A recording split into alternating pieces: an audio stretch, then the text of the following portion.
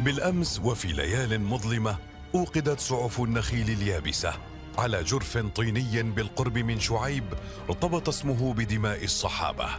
أما اليوم وتحديدا في عام 1938 أقيم فيها مركز شرطة الجبيلة القديم ليكون أول مركز للشرطة في السعودية وكان ذلك في عهد الملك عبد العزيز.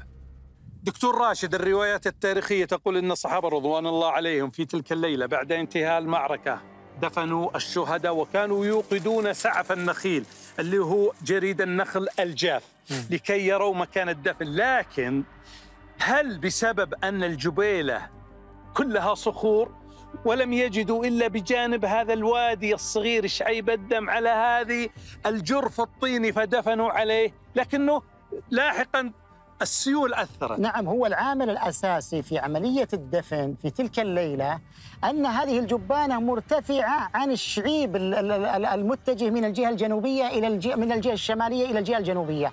فالشعيب مرتفع ولهذا دفن هؤلاء الصحابة رضوان الله تعالى عليهم على الجبانة أو ضفة الطين, الطين. نعم للحفاظ عليه من الاندفاع والانجراف للحفاظ على هذه القبور من انجراف السيل عندما يأتي أيضا إلى هذه المنطقة ولهذا منذ القدم وحتى اليوم نجد بعض بعض القبور بارزة باندفاع نعم السيل عندما يأتي إلى هذه البلاد. حصل في السنين الماضية صحيح صحيح. أنه حصل انجراف صحيح وقاموا بإعادة دفنه. صحيح. هذا صحيح. سبحان الله يعني هو شعيب الدم اسمه. نعم هو شعيب الدم. بسبب نعم. المعركة اللي المعركة حصلت التي فيه. حصلت نعم وكثرة جريان الدم في هذه المنطقة. مم.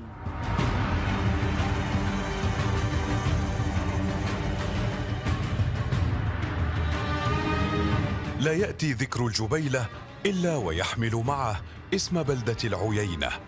فهي بلدة تاريخية اتخذت مكانها على ضفاف وادي حنيفة. اسمها القديم العيين نسبة لبني عامر من بني حنيفة. ثم أصبحت برقة نسبة للبرق وهي الرمال على سفوح الجبال جنوب البلدة. إليها تذهب الخطى لتقف على آثارها وذكرى رجالها. ومن مروا بها.